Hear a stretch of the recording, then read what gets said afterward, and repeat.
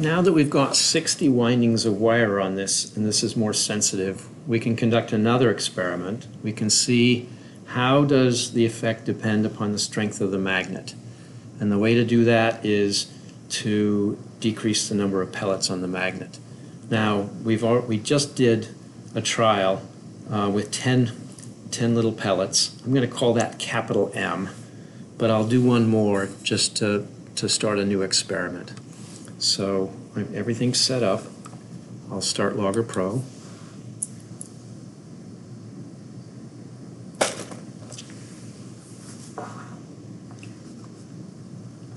And I will save that.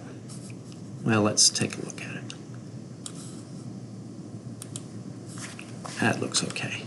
I will save that as trial 10. I've actually done a couple of other trials in between to test things. So this will be m equals, this is trial 10, it's also capital M equals 10 with n equals 60 windings.